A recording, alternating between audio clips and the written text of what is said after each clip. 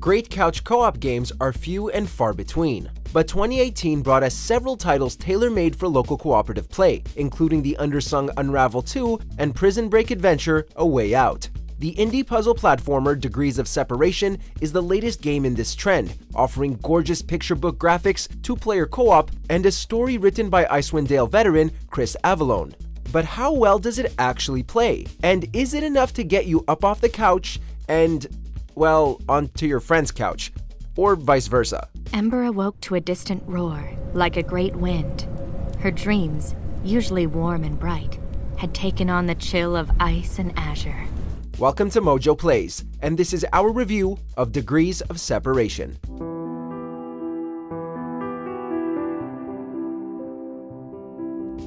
Before we begin, we publish new content all week long, so be sure to subscribe and ring the bell to get notified about our latest videos. Degrees of Separation is Norwegian developer Moondrop's third foray into the world of 2D puzzles, following up on colorful side-scrollers Kesper's Keep and Amphora. Their experience is evident in their newest title's polished visuals and thoughtful puzzles. The star of the show, though, is the innovative mechanic at the heart of gameplay players take control of Rime and Ember, using their respective abilities to freeze and heat the environment in order to collect scarves that open up new areas. The story is pretty standard fairy tale fare. There's some stuff about a king, a dragon, and the aforementioned knitted neckwear. A narrator, voiced by Kira Buckland of NieR: Automata, carries the story forward, but can sometimes be a little persistent. Working together, Ember moved up and over as Rime froze the steam from the vents so she could pass. We know, we just did that. But the focus is really on protagonist Rime and Ember. It's a classic tale of two lovers separated by a magical barrier that sometimes explodes.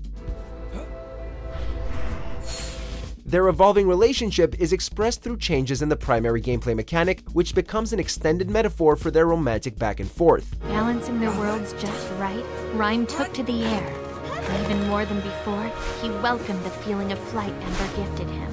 And this is where the game really shines, in its creative game mechanic and approach to puzzles. Rime and Ember's effect on the environment allows them to freeze water, light lanterns, make snowballs, and extinguish fires, making for some unique and inventive challenges. To mix things up, players are granted one new ability while in different areas, with a personal favorite being a coat that suppresses environmental effects, adding a whole new dynamic. The exploding magical barrier, on the other hand, can be a little frustrating, especially when your teammate just wants to mess with you. It's kind of a shame that these abilities weren't cumulative, allowing for more complicated puzzles and maybe even multiple solutions. Even so, the challenge level is ideal, providing a mix of easy and difficult puzzles and making you scratch your head without risk of sudden rage quit. You also don't have to collect every scarf to progress, although, what are you doing being so lazy? A fast travel option allows players to conveniently backtrack. The weakest point in the game might be Rime and Ember themselves.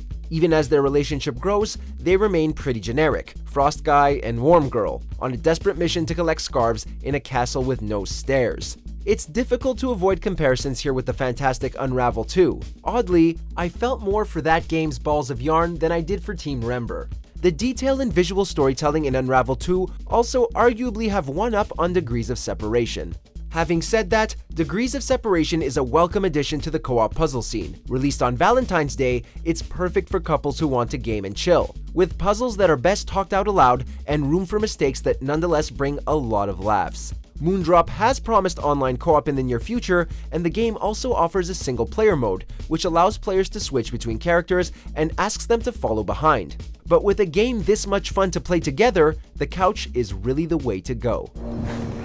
They opened it to the sky and let the beast free. The wind buffeted them as the dragon spread its wings and took flight. Check out these other great clips from Mojo Plays, and be sure to subscribe and ring the bell to get notified about our latest videos.